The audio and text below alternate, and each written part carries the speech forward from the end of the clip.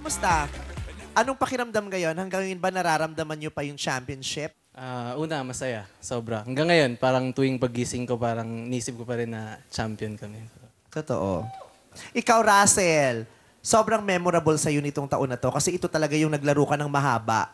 Oh, tsaka nakakumpleto ako ng ano, season. Last year mo na, di ba? Last year. yun. Ikaw, Pogoy, ang ganda ng pinakita mo nitong season na to. Congratulations din sa'yo. Ang dami Thank mong you. fans. Thank you. Anong preparasyon ang ginawa mo para sa championships? Focus lang talaga. Kasi, di ba last year, natalo Bakit kami. tinatawa-tawa ka? Pag pinagtatawa na, pinagtatawa naman si Pogoy. Si Aaron, pinipicturean niya si, si Pagoy.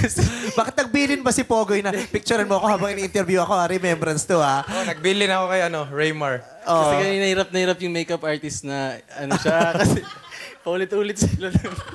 So, at naka-nose line ka ngayon, Pogoy, ha? In fairness, pinaghandaan mo ang guesting na ito. Naka-makeup, naka- naka-powder siya. Naku, si Jose, dapat sinama na rin natin dito, eh. Sikat na, na sikat dito si Jose dito, eh.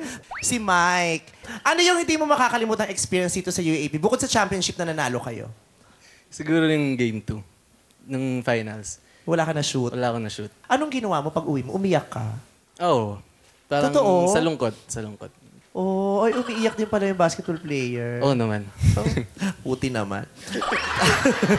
Ay, hugot ka. Joke lang. Ikaw, Russell, ano yung pinaka pangit na experience mo dito sa paglalaro sa season na to? Nung laro namin sa UA kasi nung Final, ano yan, semis yan o hindi? hindi ano ah, ano lang. Nung elims lang? Elims. Okay.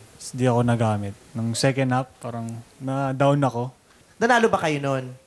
Panalo kami. nun. Oo, kaya nanalo, hindi ka pinasok. hindi ka ba naging thankful nun? na, ay, baka kaya hindi ako pinasok para manalo sila. Umiiyak ka din pag natatalo. Oo naman. Sa height mo 6'6 na yan, umiiyak ka. Oo, minsan. Ikaw, Pogoy, umiyak ka din. Oo, oh, umiyak din ako. Anong mas kaya mo, matalo sa championship o makipag-split sa girlfriend? Di ko alam. Matalo na lang si... Ah, di ko alam. Di ko alam. Grabe ka Ay, naman, sama matalo sa ugat. championship. Ang damay, no? Dahil lang sa girlfriend niya. Oo. Paano yun, kunyari, championship game, tapos may girlfriend? Paano yun, chumichika kayo sa girlfriend? Are you allowed? Ako hindi kasi nasa Cebu yung girlfriend ko. Eh, yung kunyari, usap pa rin sa telepono. Oo. Always, Ah. araw-araw yan. Ah, talaga, kahit mo kailangan mag-focus? Oo. Oh, ikaw. Yung sa'yo kasi hindi nagte-text pag may game na. Ikaw. kahit, kahit di championship. Kahit di championship. Focus mo na lang, text-text.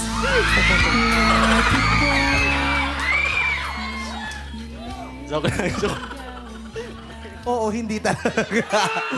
hindi, focus daw eh. Di focus. Focus din ako sa iba. Charot. hindi, ikaw. Okay lang sa'yo. Hindi kayong detach muna. Wala, ganun din. Minsan, ayoko ng ano, may kausap. Mas gusto ko na ano, nagpo-focus na ako sa game.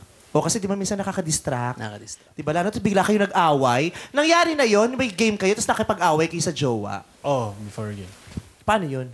Sira game mo? Hindi naman, focus pa rin. Oh, dead mo lang? Oo, iiwan ko lang muna sa labas. Tapos, Iniwan mo yung asawa mo sa labas?